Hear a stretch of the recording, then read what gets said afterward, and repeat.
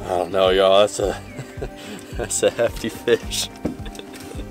that's a good one. All right, let's get a weight on her. Right, zeroed out. Nah, yeah, I think she'll go six. Now that I'm looking at her, now that I've held her for a little bit. Seven, two? Is this thing on? Oh, okay. Seven. Oh. I'm gonna call it seven two. I'm gonna weigh her again in a second. Seven two is what I'm calling it. There she is again.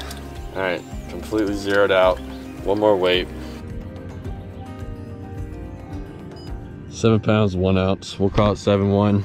Seven one. Third seven pounder of the season for me. Nice fish. Look at that tail, y'all.